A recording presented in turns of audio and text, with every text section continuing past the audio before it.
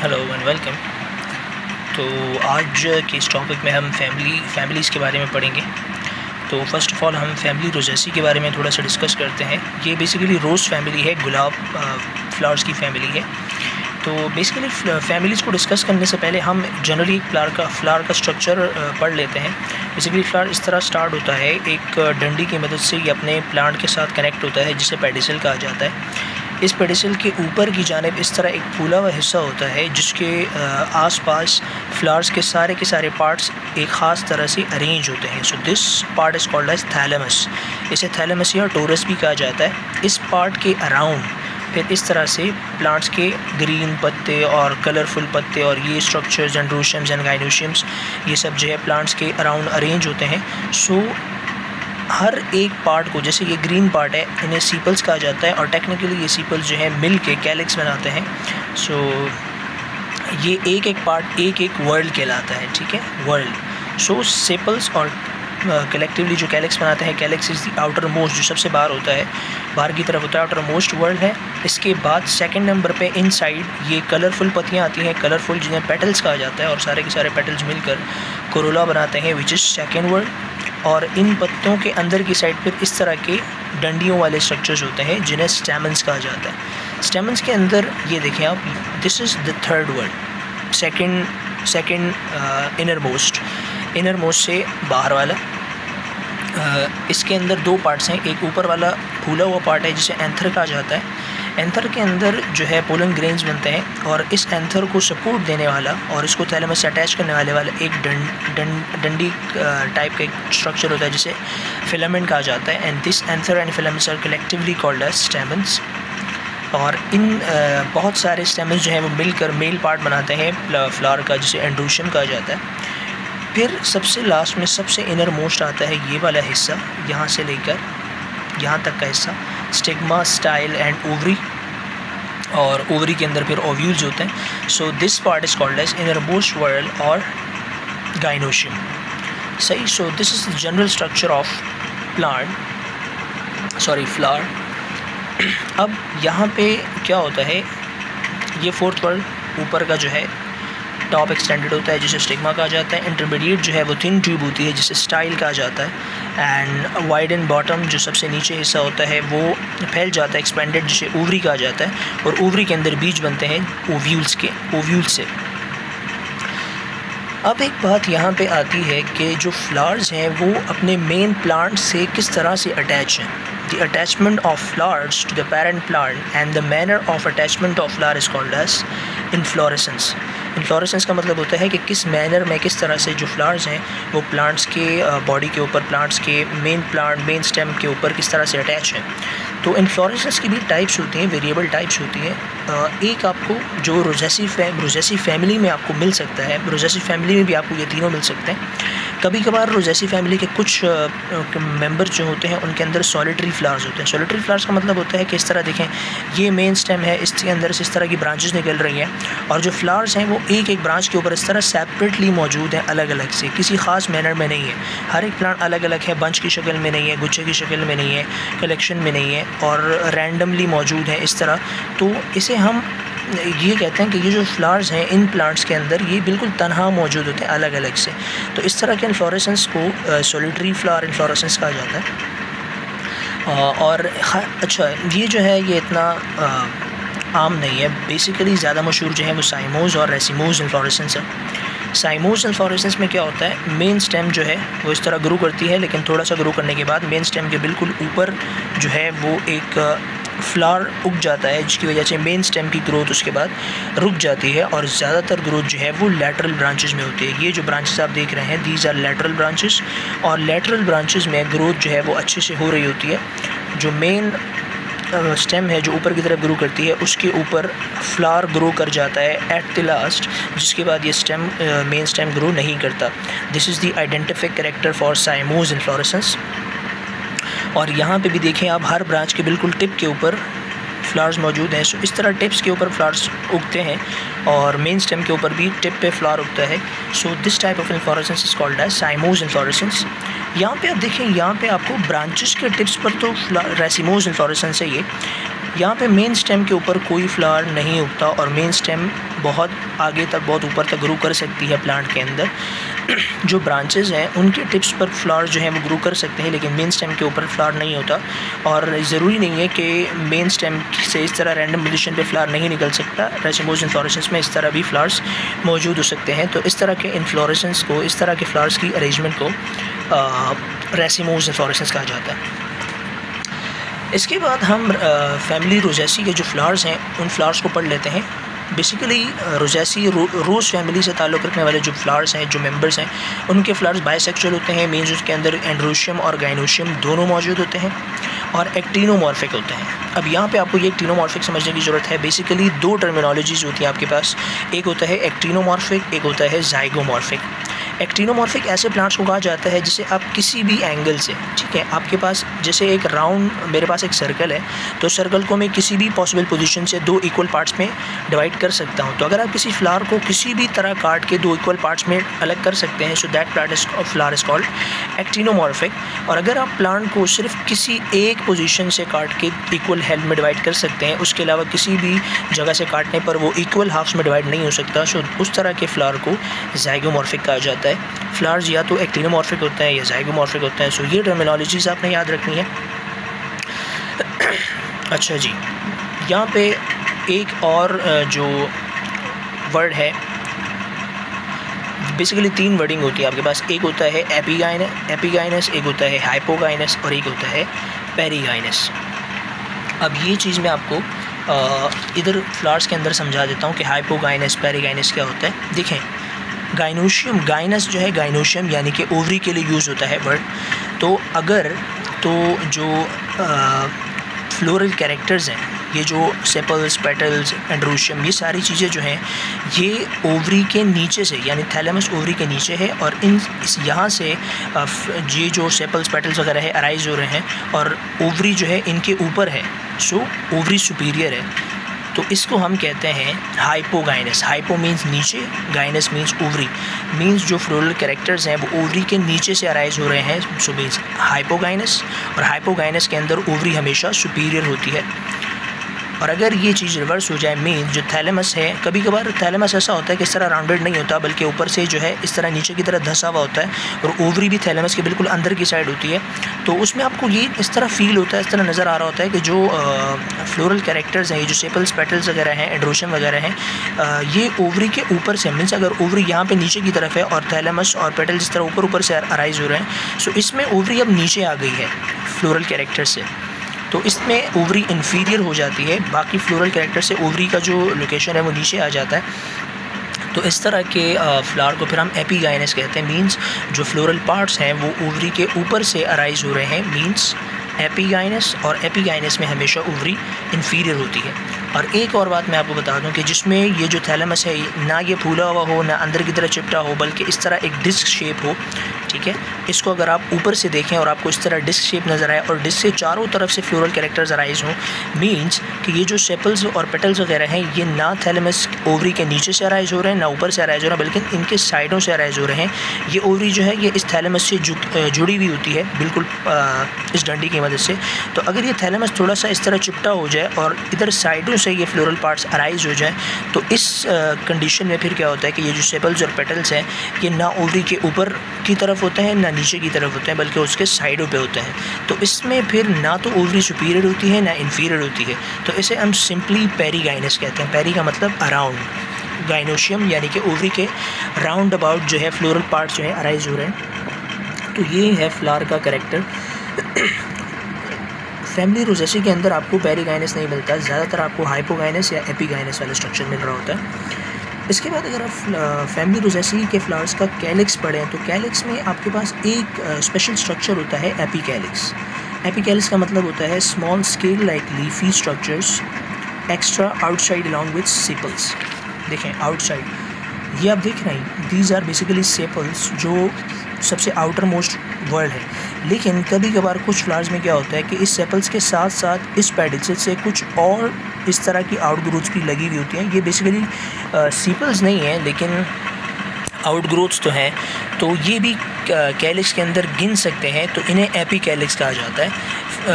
Rosaceae के flowers में इस तरह के स्ट्रक्चर्स भी मौजूद होते हैं। So the calyx is having epicalyx और एपी कैलिक्स की डेफिनेशन मैंने आपको ऑलरेडी बता दी है। इसके बाद अगर आप करोला देखें तो रोजैसी फैमिली के जो करोला होते हैं करोला मींस पेटल्स तो पेटल इनके पास एक आइडेंटिफिक करेक्टर है। इनके पेटल्स या तो पाँच होते हैं, या पाँच का ज़रब होते हैं, पाँच का मल्टीपल होते हैं। मीन्स फाइव का जर, जो मल्टीपल है, वो टेन है फिफ्टीन है ट्वेंटी है। इस तरह के हिंसों में इनके पास पेटल मौजूद होते हैं। रैंडम तादाद में नहीं होते, जैसे सात, तेरह, चौदह, सोलह सेवनटीन एटीन इस तरह नहीं होते, बल्कि सिर्फ़ इसी कंडीशन में होते हैं। या तो फाइव होंगे कम से कम, या मल्टीपल ऑफ़ फाइव यानी कि टेन फिफ्टीन ट्वेंटी इसके बाद अगर आप फैमिली रोजैसी का एंड्रोशियम पढ़ें अगर आप एंड्रोशियम की बात करें तो एंड्रोशियम फैमिली रोज़ फैमिली के अंदर जो एंड्रोशियम होते हैं, वो काफ़ी तादाद में होते हैं न्यूमरस होते हैं। कैसे होते हैं? सम टाइम्स ये पाँच भी होते हैं और दस भी होते हैं। अच्छा अगर आप इनकी फ्री और फ्यूज़ होने की बात करें तो ये स्टैमेंस एक दूसरे से अटैच नहीं होते, जुड़े नहीं होते, बल्कि अलग अलग मौजूद होते हैं। ये भी एक कंडीशन है जो फैमिलीज़ पढ़ते हुए आपको नज़र आती है कि फ्री है, कोई स्ट्रक्चर या फ्यूज़ है। तो फ्री अगर है तो आप फ्री लिखोगे, और अगर फ्यूज़ हैं तो आप फ्यूज़ का भी ज़िक्र करोगे। बेंड इनवर्ड का मतलब होता है कि स्टेमिन जो है, वो अराइज होते हैं, लेकिन ऊपर आते आते ये अंदर की तरफ़ झुक जाते हैं प्लांट्स के अंदर।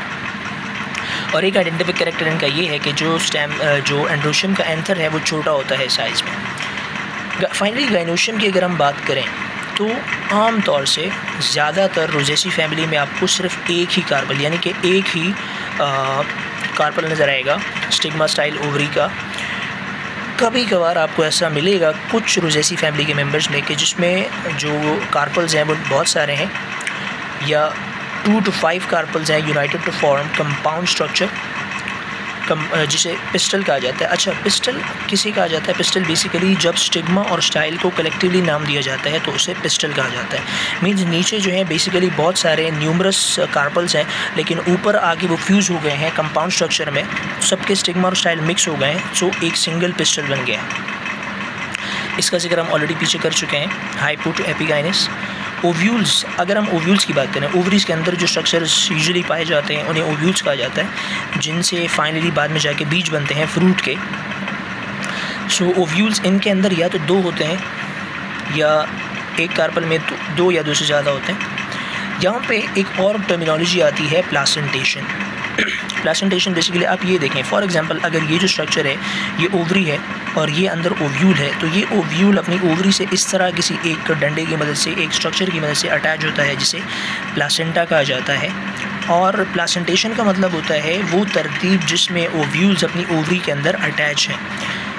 तो प्लासेंटेशन की काफ़ी टाइप्स होती हैं, लेकिन रोजेसी के अंदर जो टाइप प्लासेंटेशन मिलती है, वो या तो बेजल होती है या एग्जाइल होती है। बेजल का मतलब क्या होता है कि फॉर एग्जांपल एक ओवरी है, ओवरी का जो निचला पार्ट है, वहाँ से प्लासेंटा की मदद से ओव्यूल्स अटैच हैं, नीचे बेस से सो इसे बेजल प्लासेंटेशन कहा जाता है। और रोजेसी में बेजल प्लासेंटेशन तब होती है, जब कार्पल एक हो सिंगल हो, या एपोकार एपोकार्पस का मतलब होता है कार्पल फ्री हो, एक दूसरे से फ्यूज़ ना हो, ठीक है free carpels are called as apocarpous means अगर एक है तो तब भी, और अगर बहुत ज़्यादा हैं, लेकिन वो बहुत ज़्यादा जो कार्पल्स न्यूमरस कार्पल्स हैं, लेकिन न्यूमरस कार्पल्स अगर फ्री हैं मीन्स एपोकार्पस हैं, तब भी इनके पास बेसिक प्लासेंटेशन होगी।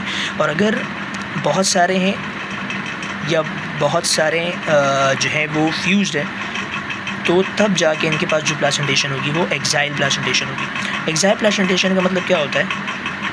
देखिए, एक बात और यहाँ पे मैं आपको समझा देना चाहता हूँ कि ये जो ओवरी है कभी कभार ये ओवरी इस तरह के एक सेप्टम की मदद से दो या दो से ज़्यादा पार्ट्स में डिवाइड भी होती है। ओवरी जो है वो अंदर से दो या दो से ज़्यादा पार्ट में डिवाइड भी हो सकती है। तो जो सेप्टम जिन्हें डिवाइड करते हैं, इस तरह के पोर्शंस में तो इन एक सिंगुलर पोर्शंस को बेसिकली फिर लॉक्यूल्स कहा जाता है। ठीक है? लॉक्यूल्स तो अगर जो फॉर एग्ज़ाम्पल ये देखें, ये जो ओवरी है, फॉर एग्जांपल ये चार हिस्सों में डिवाइड है। तो जो ओव्यूल्स हैं, वो इस इस सेंटर से अगर अटैच हैं, अगर ओवरी के अंदर ओव्यूल्स हर एक लॉक्यूल की तरफ़ इस तरह सेंटर से अटैच हैं तो इस तरह के प्लासेंटेशन को एग्जाइल एग्जाइल का मतलब होता है सेंटर तो अगर ओव्यूल्स जो हैं, इस तरह ओवरी में सेंटर से अटैच हैं सो इस तरह के प्लासेंटेशन को एक्जिलरी या एग्जाइल प्लासेंटेशन कहा जाता है। रेसिमोज रोजैसी फैमिली में ये प्लासेंटेशन आपको तब मिलती है, जब बहुत सारे कार्पल्स हों और वो एक दूसरे से जुड़े हुए हों इस तरह के स्ट्रक्चर में, तब इनके पास एग्जैल प्रेजेंटेशन होती है। स्टिग्मा इनका दो तरह का होता है। कार्पल्स के अंदर जो स्टिग्मा होता है अबव स्ट्रक्चर वो स्पेचुलेट होता है या कैपिटेट होता है। कैपिटेट का मतलब जिस तरह एक राउंड स्ट्रक्चर होता है, इस तरह फॉर एग्ज़ाम्पल ये स्टाइल के ऊपर का स्टिग्मा है। तो अगर स्टिग्मा इस तरह फूला हुआ है तो इसे कैपिटेट स्वेल स्वेलिंग वाला जो स्टिग्मा होता है, उसे कैपिटेट कहा जाता है। और अगर ये, जो स्टिग्मा है, ये इस तरह से दो पार्ट्स में डिवाइड है, तब इसको स्पैचुलेट कहा जाता है। स्टिग्मा अगर इस तरह दो रीजन्स में डिवाइड हो चुका है बाईफिड है सो इसे स्पेचुलेट कहा जाता है। और अगर ये राउंडेड है, इस तरह स्वेल्ड है तो इसे कैपिटेट कहा जाता है। तो ये मुकम्मल डिस्क्रिप्शन है गाइनोशियम की, जो रोजैसी फैमिली के मेंबर्स में होता है। इसके बाद इसकी इकोनॉमिक इंपॉर्टेंस का भी बार और फ्लोरल फार्मूला पूछा जाता है, वो मैं आपको यहीं पे करवा देता हूँ। बेसिकली फ्लोरल फार्मूले के अंदर कुछ चीज़ें होती हैं, ये देखिए। सबसे पहले ये जो स्ट्रक्चर आपको फ्लोरल फार्मूले में दिखा, दिखाया जाता है, ये फ्लावर को ज़ाहिर करने के लिए होता है। Now this structure is defining that the flower is actinomorphic अगर जो फ्लावर है वो जाइगोमॉर्फिक होगा एज इन केस मैं आपको किसी दूसरे फ्लोरल फार्मूला में दिखा देता हूँ, जैसे ये देखें आप। जब ये स्ट्रक्चर फ्लोरल फार्मूला में आप ये वाला साइन लिखते हो जब फ्लार जाइगोमॉर्फिक होता है और आप ये वाला साइन लिखते हो जब फ्लार जो है वो एक्टिनोमॉर्फिक होता है, ये स्ट्रक्चर क्या डिफ़ाइन करता है? This arrow is for male and this arrow this structure is for female आप एक राउंड सर्कल बनाते हो। अगर फ्लावर जो है वो बाइसेक्चुअल है तो आप दोनों एरोज लगाओगे, दोनों स्ट्रक्चर्स लगाओगे। और अगर बाइसेक्चुअल नहीं है प्लांट्स यूनिसेक्चुअल है तो मैं आपको किसी और फ्लोरल फार्मूला के अंदर देख के बता देता हूँ। यहाँ पे आप देख सकते हैं, देखें, जब प्लांट्स अगर प्लांट जो है वो यूनिसेक्सुअल है तो आप इस तरह के दोनों स्ट्रक्चर्स और लिख के दोनों स्ट्रक्चर्स को अलग अलग लिखते हो। और अगर प्लांट जो है वो बाइसेक्चुअल है, तब आप इस तरह का फ्लोरल फार्मूला लिखते हो, जिस तरह आप ये रोजैसी का, ये रोजैसी का फ्लोरल फार्मूला है। एक्टिनोमॉर्फिक बाइसेक्चुअल ये के कैलिक्स को ज़ाहिर करता है। इनके अंदर कैलिक्स जो है वो कैलिक्स यानी कि सिपल्स सिपल्स की तादाद पाँच होती है। कभी कभार ये सेपल्स फ्री होते हैं तो जब फ्री होते हैं तो आप सिंपली नंबर लिखेंगे और अगर फ्यूज है एक दूसरे से जो एक सेपल का जो एक सेपल दूसरे सेपल से जुड़ चुका है तब आप इस तरह फाइव को ब्रैकेट में बंद करके लिखेंगे। आ, ये सी जो है करोला को ज़ाहिर करता है मींस पेटल्स सो इनके अंदर पेटल्स या तो पाँच होते हैं या मल्टीपल ऑफ़ पाँच होते हैं मींस फाइव और मल्टीपल ऑफ़ फाइव ये एंड्रोशम को ज़ाहिर करता है। एंड्रोशम इनके अंदर न्यूमरस होते हैं कोई स्पेसिफिक गिनती नहीं है तो इसलिए आप अल्फ़ा लिखेंगे। Alpha defines infinity infinite infinite का मतलब वैसे तो लामहदूद होता है लेकिन प्लांट्स के अंदर हम लामहदूद का वर्ड तब इस्तेमाल करते हैं जब एंड्रोशम की तादाद बारह से ज़्यादा हो। तो मीन्स इनमें जो एंड्रोशम्स हैं वो दस बारह से ज़्यादा हैं। गाइनोशियम देखें जब आ, जो ओवरी है वो सुपीरियर होती है तो आप जी के नीचे इस तरह एक लाइन देते हैं ठीक है? जिसका, इस नीचे वाली लाइन का मतलब होता है, क्योंकि लाइन नीचे है जी ऊपर है so means ovary superior carpel इनके अंदर एक होता है ज़्यादातर, लेकिन कभी कभार दो से पाँच भी हो सकते हैं। दो से पाँच जो है वो फ्यूज़ भी होते हैं, ठीक है? और कभी कभार इनके अंदर कार्पल जो है वो बहुत ज़्यादा भी होते हैं। तो आप इस तरह देखें। इसमें सारी चीज़ें डिफाइंड हैं कि गाइनोशियम कभी एक होता है, कभी दो से पाँच होते हैं, जो फ्यूज़ होते हैं, और कभी बहुत ज़्यादा होते हैं फ्री स्ट्रक्चर में। तो ये तीन पॉसिबिलिटीज़ हैं गाइनोशियम के प्रेजेंस में। डायनोस्टिक करेक्टर्स आप एक बार पढ़ लेना, इसमें वही टर्मिनोलॉजी हैं जो अभी हम पढ़ चुके हैं ऑलरेडी इकोनॉमिक इंपॉर्टेंस भी कभी कभार पूछी जाती है तो इसमें कुछ मेन कैरेक्टर पॉइंट्स हैं जो आपको पता होने चाहिए प्रोवाइडिंग द प्लेजर्स ठीक है? ऑर्नामेंटल्स के तौर पे यूज़ किए जाते हैं फ्रूट्स के। इनके जो फ्लावरिंग प्लांट्स हैं, वही, और ये पूरा पैराग्राफ ऑर्नामेंट्स को खूबसूरती के लिए खुशादगी के लिए जो है वो यूज़ किए जाते हैं गार्डन्स में यूज़ किए जाते हैं अपने गार्डन्स को खूबसूरत बनाने के लिए। इसके अलावा इनके कुछ मेंबर्स हैं, जैसे कोन ईस्टर है और क्रेटेगियस है। ये वॉकिंग स्टिक्स बनाने के लिए इस्तेमाल होते हैं, ठीक है? जिनसे जो बुज़ुर्ग लोग हैं, वो मदद लेकर चलते हैं। एक और प्लांट है पायरस पेस्टिया जो कि टोबैको पाइप्स मीन्स तंबाकू नोशी वाले जो लोग हजरात होते हैं, वो तंबाकू इनहेल करने के लिए स्टिक्स इस्तेमाल करते हैं पाइप्स इस्तेमाल करते हैं, जो भी पायरस पेस्टिया से बनता है, इनके वुड से। और बाकी कुछ जनरल अर्के गुलाब बनाने के लिए रोज़ फैमिली जो रोज़ गुलाब है, उससे अर्के गुलाब निकाला जाता है, जो आई डिज़ीज़ में इस्तेमाल होता है।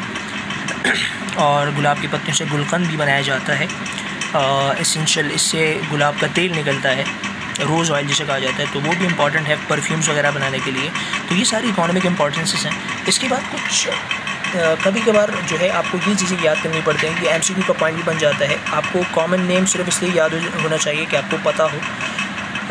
ये नाम जो है बोटानिकल नेम्स है कॉमन नेम्स और लोकल नेम्स लोकल नेम्स तो भले आप याद ना भी रखें, ये दो नाम आप याद रखें कुछ दो से तीन मेंबर्स आपको याद हो जाने चाहिए। जैसे जो इम्पोर्टेंट इंपॉर्टेंट है, जो ज़्यादा मशहूर है एप्पल वगैरह हो गया एलमंड हो गया रोज़ हो गया, इस तरह दो तीन आप याद कर लिया करें। So this is all about all about Rosaceae family hopes आपको समझ आ जाएगा इन थैंक यू सो मच